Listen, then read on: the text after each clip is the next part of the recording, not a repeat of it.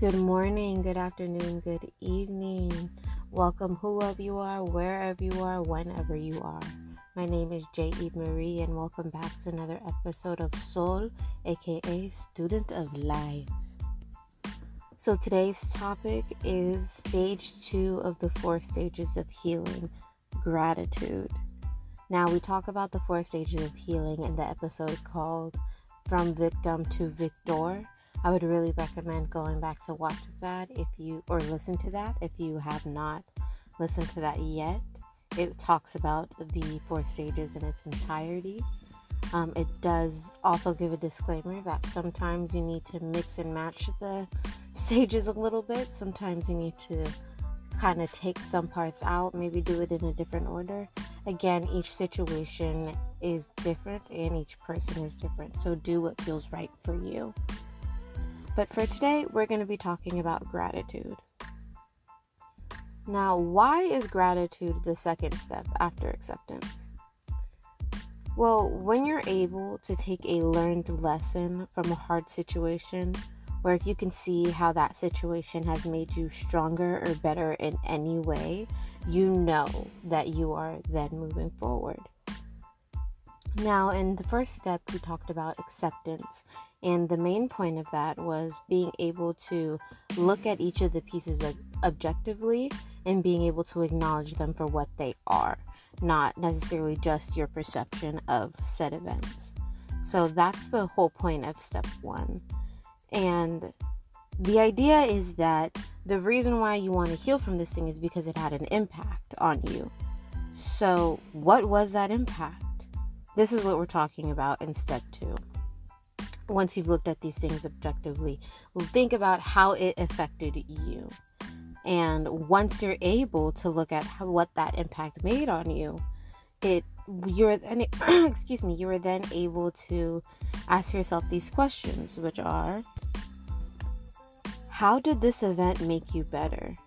And what did you learn from this event? What can you implement so that your life changes?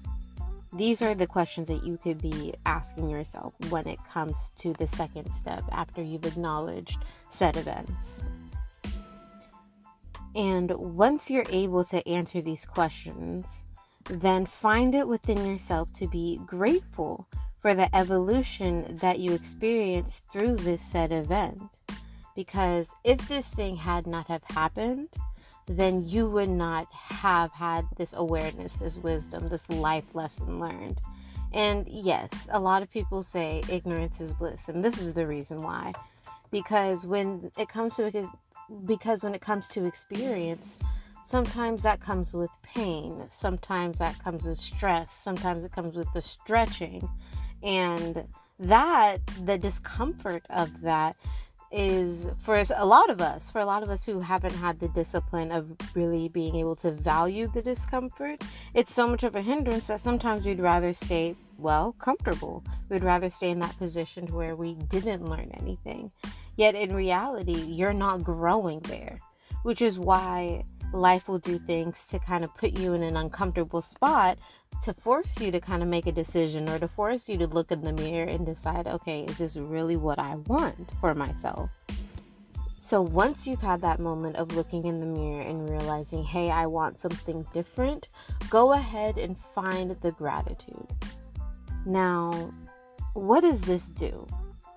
Well, the reason why I have it in kind of my set system is because for me personally, it it helped me to take my power back from the things that I used to allow me to hold me back. The ideas and the habits and the things that my family has said about me or said to me.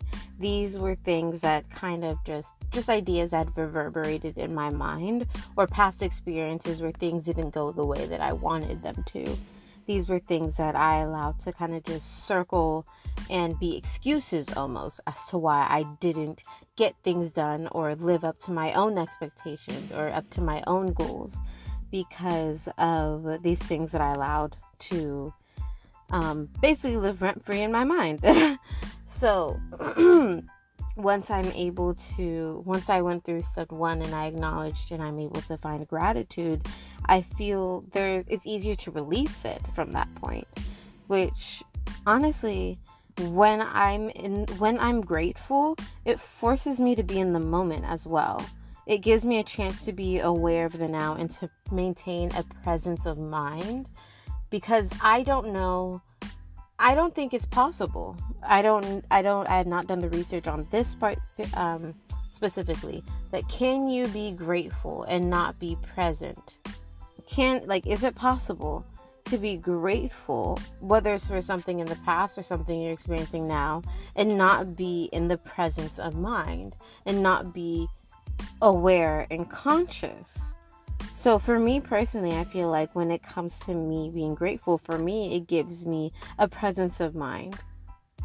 And the third thing it does for me is from there, it allows me a chance to separate the person I was which was the person who experienced this thing, from the future self or the person who is experiencing a better life because of this thing that happened. And that is also the person that I'm cultivating into existence. So, through me being grateful, um, because in the past I wasn't grateful. When I was hurt and upset and stressed out, I'm not grateful for that experience that I was going through. But once you move past it, and you're able to find the ways that it helped or let me speak for me.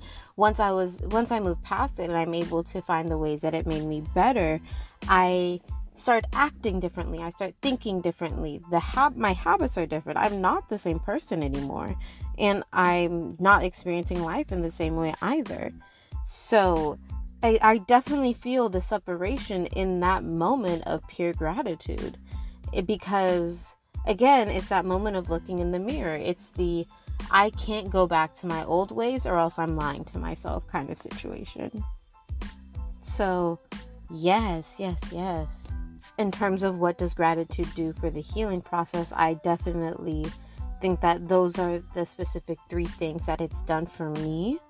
And yes, most definitely. And also, something that I want to add is gratitude for me has been a base, kind of like a platform state of mind to where I can refocus to any frame of mind from there.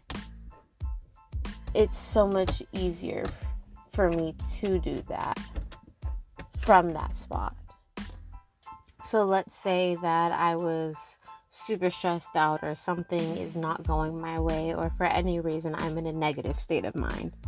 From there, I am able to kind of acknowledge and then find the solution. If I'm not finding the solution in it, find something that steers me towards the right direction or towards a brighter direction. And from that moment of gratitude, then I feel like I could shift my frame of mind towards anything, whether that means I'm trying to get to work, whether I'm trying to meditate, whether I'm just trying to get out of bed and start my day.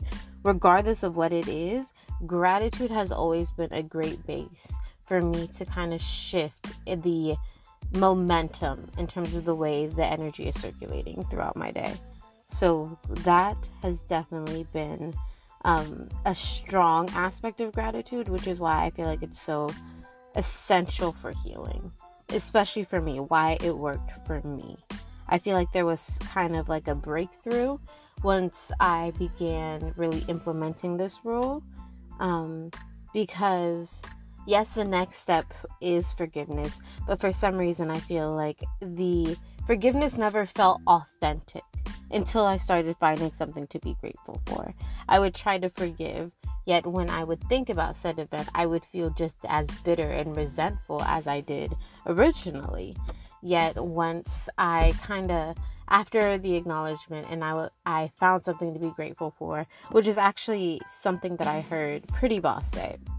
Shout out to Pretty Boss. I heard her make the statement about um, you know, you attract or you experience what you already have within you, kind of thing. So if you're thinking a certain way, you're only going to experience things in that way. Um, the law of attraction. That's what it is. She was speaking about the law of, law of attraction. However, there is a big piece that a lot of people don't that a lot of people don't acknowledge or that they're missing completely. And it's that you must experience life genuinely. If you feel like somebody stepped on your toes, you're allowed to be upset about it. You are very much allowed to be upset about it. Yet, once you feel the feelings, you acknowledge what happened, and you move past, and you are ready to move past it, find a way that that that it makes you better. Basically, everything we've been talking about here. Find a way that it makes you better, and the lessons learned, find something you could take with you. Then that is something that you can be grateful for. Because yes, it did help to shape the person you're becoming, yet it helped to shape you in a good way, in a beautiful way, in a way that that grows you instead of a way that harms you. So, yes, I'm definitely grateful that I did come across that video. I don't even remember what it was called because I do feel like it was quite a while ago, at least a year ago. But that was when I really tried to implement gratitude. Gratitude, gratitude, gratitude. Just, and I just keep saying it because it feels good. And I hope you guys feel good. And I hope you say the word gratitude. I hope you find more things that you feel grateful for throughout time. And I pray that it helps you because this has definitely helped me. So thank you, thank you, thank you for joining me on another SOL episode. This has been one of my favorites because gra- gratitude is such a beautiful thing. it's a beautiful thing. And again, I pray that you guys find ways to be grateful in your life. So, again, thanks for joining me, and I wish you all the best on your SOL journey. Bye.